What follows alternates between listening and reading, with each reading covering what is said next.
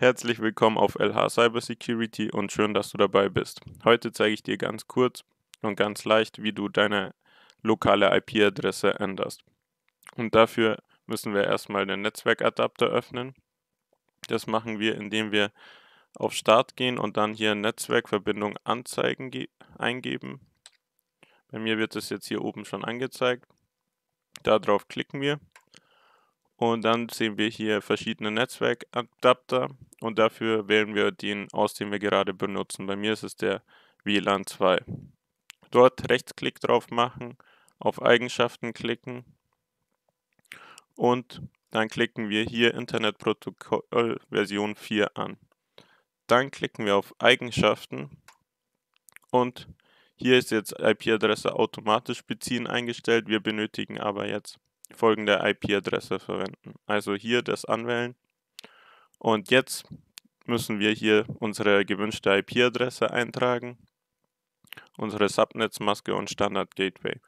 Wie ihr das rausfindet, zeige ich euch jetzt gleich. Dafür gehen wir wieder auf Start, tippen CMD ein, drücken Enter oder klicken hier drauf. Und hier geben wir jetzt IP-Config ein. Dann sehen wir hier die Netzwerkadapter. Das ist jetzt hier der vom WLAN-Stick. Und hier wollen wir die IP-Adresse ändern. Die jetzige ist 10.20 und wir wollen die jetzt auf 10.21 machen. Und hier sehen wir auch die Subnetzmaske, auch einfach abtippen. Das ist meistens dieselbe 255.255.255.0 und das Standard Gateway ist die IP-Adresse von eurem Router. Die steht hier auch und das ist in meinem Fall 10.0.0.1. Einfach abtippen wieder. Und bei euch könnte das anders heißen.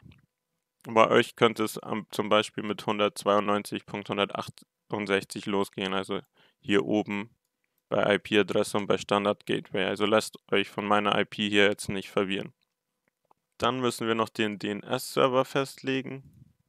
Und dafür verwenden wir einfach wieder die IP-Adresse von unserem Router, weil der hat auch einen DNS-Server integriert im Normalfall.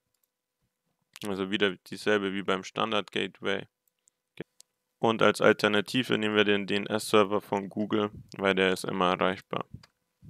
Das ist 8.8.8.8. Genau, dann einfach OK und schließen. Und dann sind wir auch schon fertig. Jetzt können wir noch kurz überprüfen, ob sich die IP-Adresse wirklich geändert hat, wieder mit ipconfig.